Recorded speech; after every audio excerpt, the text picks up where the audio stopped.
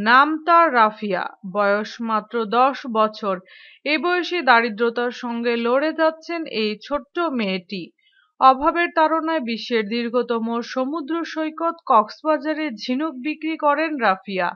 কিন্তু বর্তমানে তার চলার পথে বাধা হয়ে দাঁড়াল সামাজিক যোগাযোগ মাধ্যম ফেসবুক। পারিবারিক সূত্রে জানা যায়, রাফিয়া কক্সবাজারের সমুদ্র সৈকতে ঝিনুক বিক্রি করে।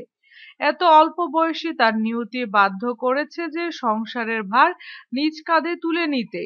তাই তো এই অবুজ শিশুকন্যা স্কুলে যাওয়ার পাশাপাশি ঝিনুক বিক্রি করে সৈকতের বিভিন্ন পর্যটন স্পটগুলোতে। আর সে আয় দিয়ে ভালোই চলছিল রাফিয়াদের সংসার। তবে সম্প্রতি সামাজিক যোগাযোগ মাধ্যম ফেসবুকের কল্যাণে রাফিয়া ছড়িয়ে পড়ে সারা দেশে। ফেসবুকে কেউ একজন রাফিয়ার একটি ছবি আপলোড করে দিলে সঙ্গে সঙ্গে সেটি ভাইরাল হয়ে যায়। আর ঠিক এই বিষয়টি রাফিয়া ও তার পরিবারের অন্যদের জন্য কাল হয়ে দাঁড়িয়েছে। বন্ধ হয়ে গেছে রাফিয়ার স্কুলে যাওয়া আসা বাধ্য হয়েছে ঝিনুক ব্যবসা ছেড়ে দিতে।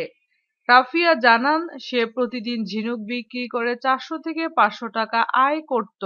অভাবের সংসারের কথা মাথায় রেখে কখনো একটা টাকাও নিজে খরচ করত না। সব টাকাই মায়ের হাতে তুলে দিত। এ টাকা দিয়ে তার স্কুলের খরচ ও সংসারের খরচ মিটত। রাফিয়া কান্নাজড়িত কণ্ঠে আরও বলেন ফেসবুক কি আমি বুঝি না, চিনিও না। তবে সবার উদ্দেশ্যে বলতে চাই, আমাকে আর আমার পরিবারকে এই বিপদ থেকে উদ্ধার করুন। যদি ভিডিওটি আপনাদের ভালো লেগে থাকে, তাহলে অবশ্যই লাইক করার অনুরোধ রইল। ধন্যবাদ।